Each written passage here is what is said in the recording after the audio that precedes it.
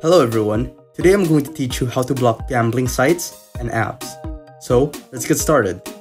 So the first thing you need to do is to open your settings. Then scroll down until you find screen time. Once you're here, tap on screen time password.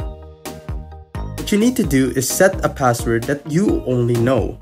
Then tap on content and privacy restrictions. Then all you need to do is toggle content and privacy on. After that, select iTunes and App Store purchase. Then, tap installing apps, then switch to don't allow.